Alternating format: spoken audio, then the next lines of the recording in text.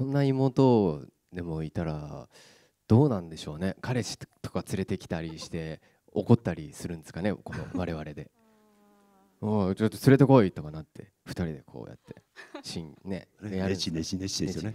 やるんですかね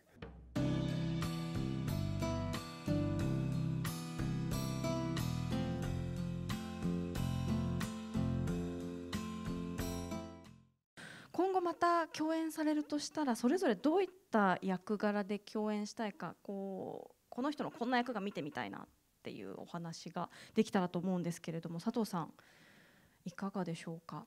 えー、いやまあ何でもご一緒できたら嬉しいですけどえー、でもやっぱ安倍さんは僕その本当一ファンとしてコメディをやられてる安倍さんがすごい好きなのでそれそういったものでもしごご一緒できたらすごい嬉しいですね。そうですね。はい、安倍さんいかがですか？コメディをやっている姿が好きという。いや嬉しいですね。もう僕も。今回佐藤さんの役と全く違う佐藤さんも見てみたいし、やりたいですね。えその安倍さんはどうですか？この共演またするとしたらうん。他の方のこんな役が見てみたい。もしくは自分がこんな役を演じてみたい。そうあの今回と全く逆の僕が犯人でお二人になんか追及される役っていうのをちょっとやってみたいかなって今ふっと思いましたね。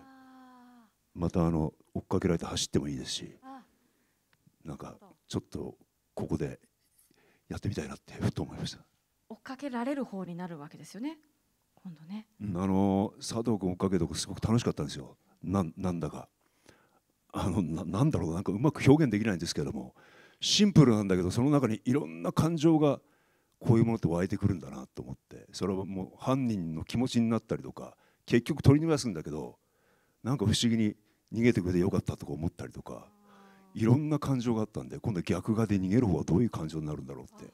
私は安倍さんと佐藤さんと家族の話をしてみたいです。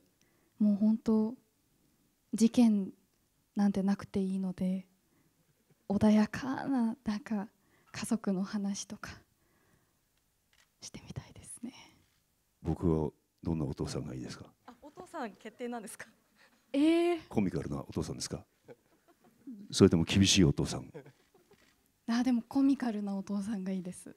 わかりました。やった。となると佐藤さんはお兄さんということになりますか？そうなりますかね。そうなりますかね。いいよね。